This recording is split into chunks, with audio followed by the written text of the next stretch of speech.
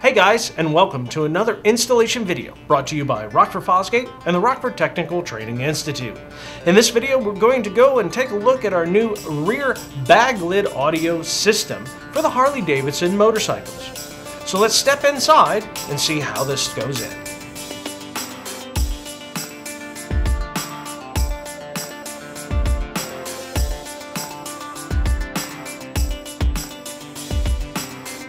Alright guys, I am now joined by Brad with our new product development team, and he's going to help walk us through the installation of our all new bag lid speaker system for the Harley Davidson motorcycles.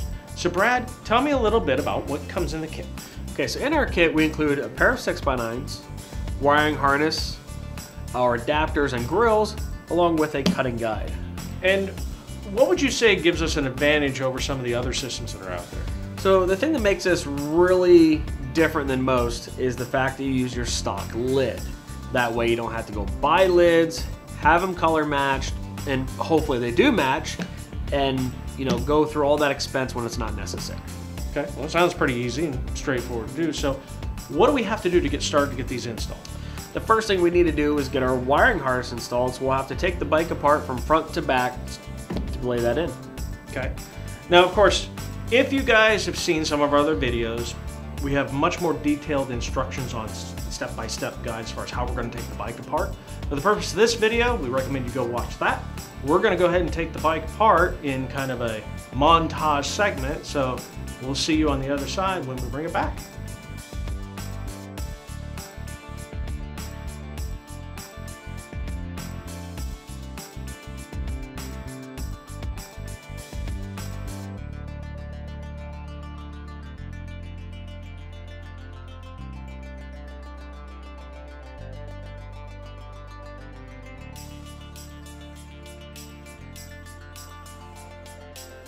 All right, so now that we have the bike disassembled, we're ready to go ahead and start the process of running our rear speaker wiring.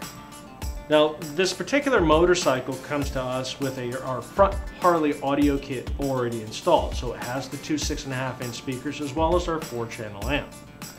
The harness itself is designed to plug into the rear output of that amplifier. So Brad, is there anything special we need to know or routing things that we need to do to get the wire harness in?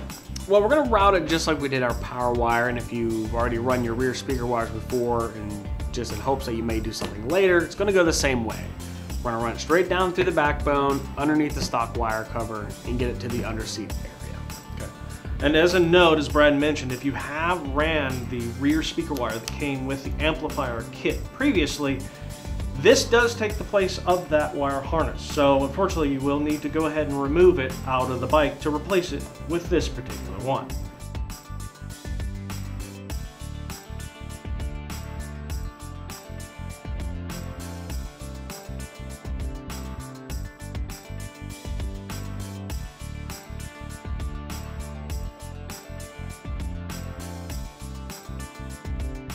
All right, guys, now that we've got the wire ran, we're ready to move on to the next step, which is what, Brad?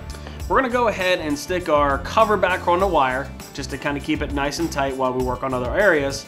And make sure you take note to the left and right or clutch and brake side.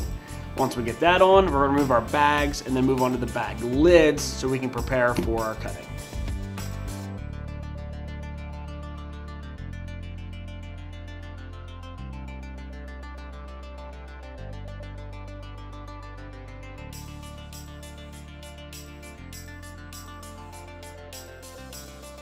All right guys, so now that we have the wire ran and the wire chase cover reinstalled, we're ready to move on to prepping the bag lid so we can modify it, put the speaker in. Now as you can see, we have an unpainted factory lid on this bag assembly and we're only using that for video clarity. Normally, when you're doing your install, this would be your lid that would probably already be painted to match your vehicle. So Brad, getting this prepped, what is the next step? The next thing we're gonna do is remove the four screws on the hinge assembly to remove the lid from the bag itself. That way it'll give us room to maneuver our saw when we go to cut. All right, well, let's see that done.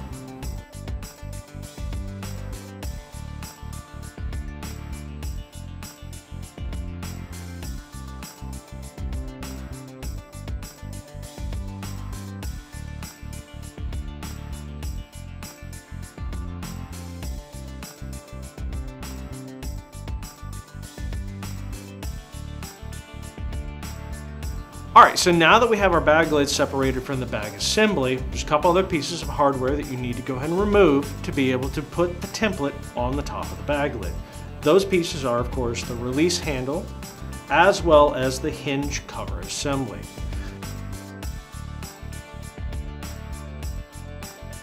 Now you do not need to remove any of the additional hardware found inside the bag lid to be able to mount the template to the bag lid itself. Brad, what is the next step in the process? So at this point, we're ready to go ahead and mask our uh, bag lid up to protect it. So we're gonna use some two inch masking tape, put it on probably two layers thick just to protect it so you don't scratch it because obviously yours is gonna be painted. And once we have that done, we'll take our template you can slide it over. It does have a tab in the front to line up. Press it tight, and then we will pre-drill two holes for the included screws to help hold the template in place. And once we get there, we'll be ready to cut.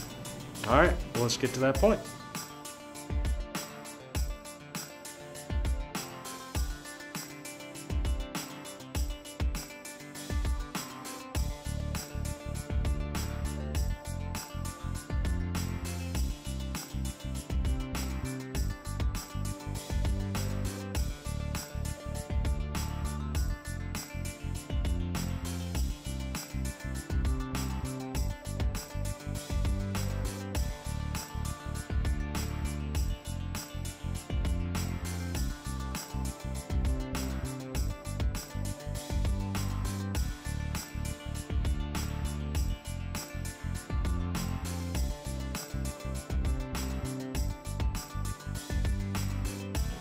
Once you have the template mounted to the top of the bag lid, using a 3 8 drill bit, drill the holes as indicated.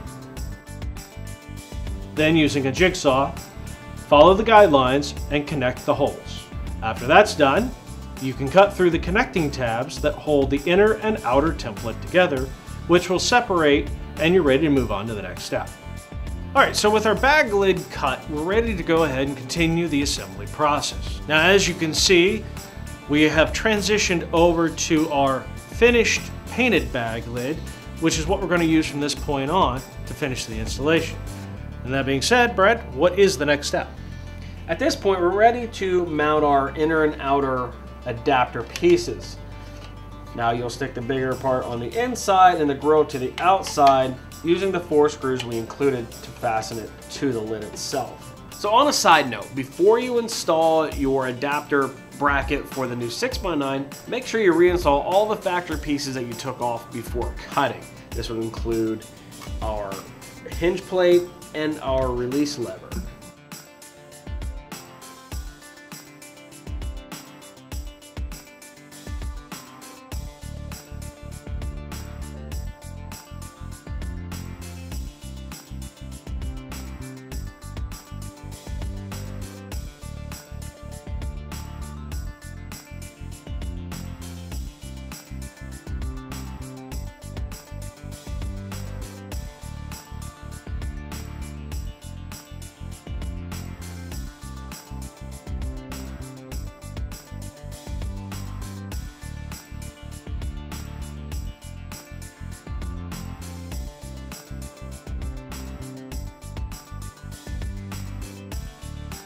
Now that we have our lid completely back together, we're ready to mount our 6x9.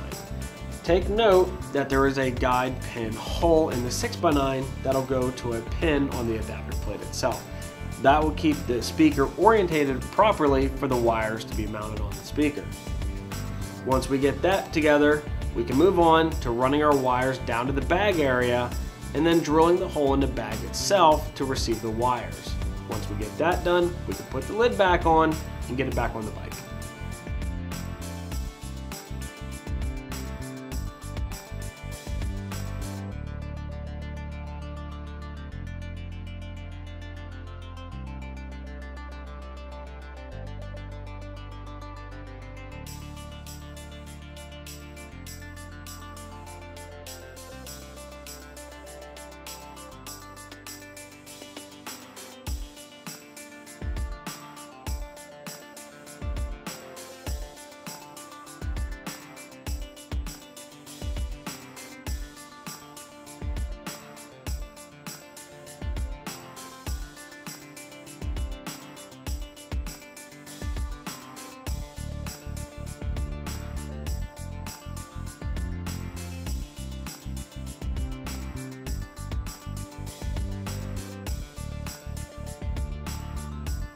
All right guys, so now that the wire is routed on the bike, we're ready to move over to the bag assembly and drill the hole to pass the wire and grommet through.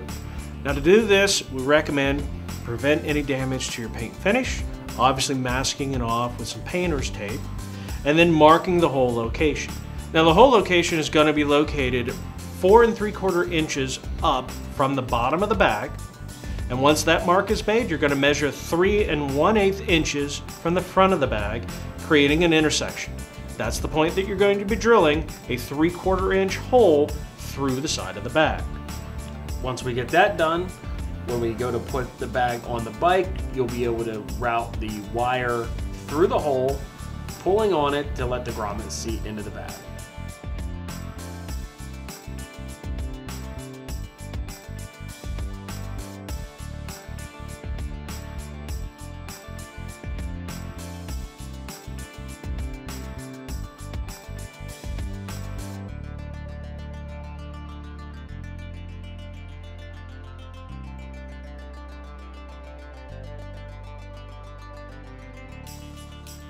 All right, so now that we have the bags reinstalled on the bike and the wires ran, we're ready to go ahead and move on to the next step. Brad, what's that gonna be?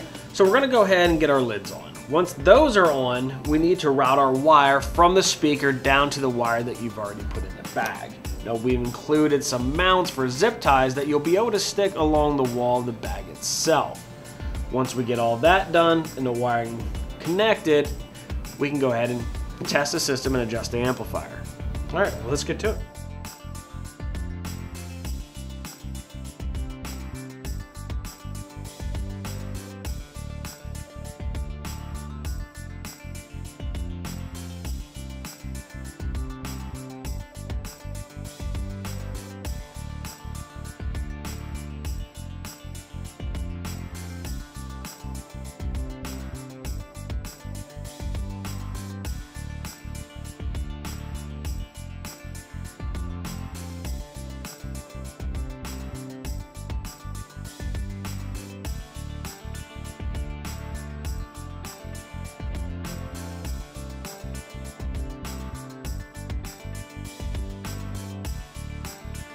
All right, so now that we've connected the speakers and tested the system, make sure everything's working properly, we're ready to go ahead and tune the amplifier for our new speakers.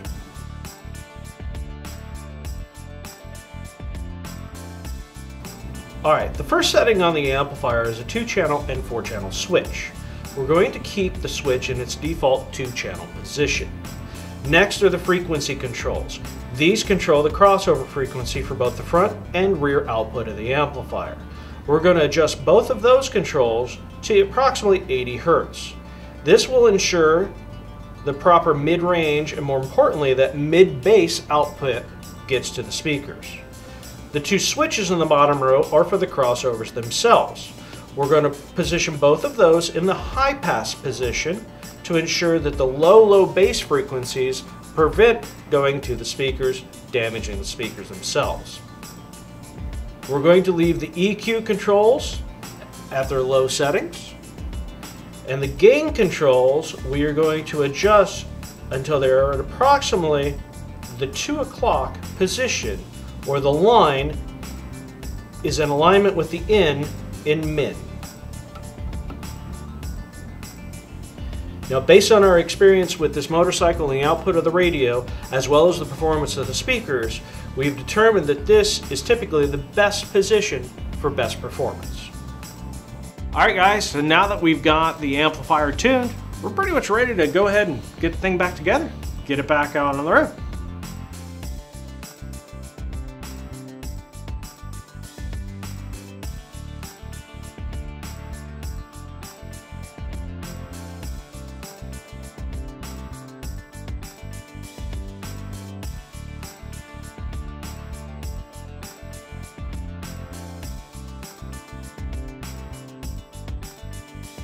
Alright guys, well that pretty much wraps up this install. As you can see, pretty straightforward and easy to do. And Brad, before we get out of here, is there anything you'd like to add? Well, as always, if you have any questions before, during, or after your install, give us a call. We'll be more than happy to help you out. And as always, don't forget, to check out our other installation videos on YouTube, as well as our website for more information on the products that we manufacture. Well, thanks for joining us. I'll see you again in another video.